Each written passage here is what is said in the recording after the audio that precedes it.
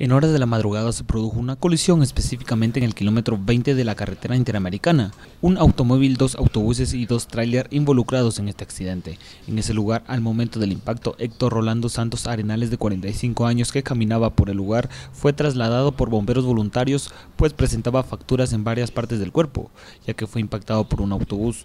Asimismo, uno de los tráiler involucrados en el accidente, el cual transportaba tubos para perforación de pozos al momento del impacto, se comenzó a quemar. Dentro del mismo el cuerpo de Walter Arizandieta Reyes de 46 años quedó atrapado dentro de los hierros calientes del tráiler. Preliminarmente se sabe que al momento que venía bajando de Occidente con dirección a la ciudad capital, el tráiler se quedó sin frenos y el piloto para no provocar un desastre impactó con un poste y una vivienda. La esposa Lilian comentó que se enteró del incidente porque el compañero que venía en el otro tráiler involucrado vio cómo fue el accidente e inmediatamente le avisó a la familia. La señora esposa entre lágrimas mencionó que todavía desayunaron esa mañana. No me imaginé que esto iba a pasar. Nunca.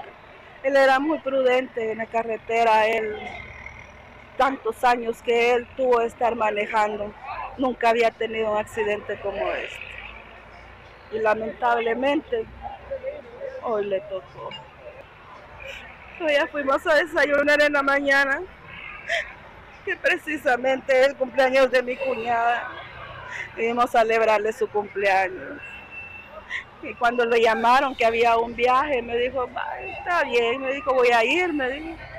No quería ir de la semana pasada, estaba que quería y que quería ir, pero no, no le daba ganas. Como que presentía, vas a ver, uno no sabe. Para Nuevo Mundo Noticias, Berner Álvarez.